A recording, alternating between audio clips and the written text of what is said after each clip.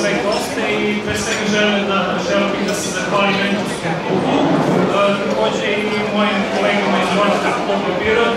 Ovaj, nastavit ćemo sa, sa ovim servisnim e, akcijama i da, da pomožemo zajednici. I još jednom bi, bi